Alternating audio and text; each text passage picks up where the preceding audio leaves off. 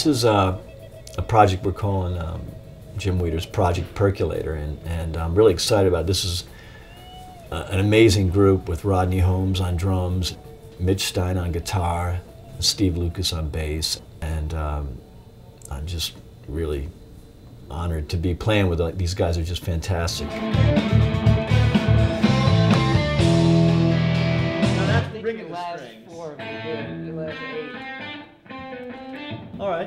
Let's see what it sounds like.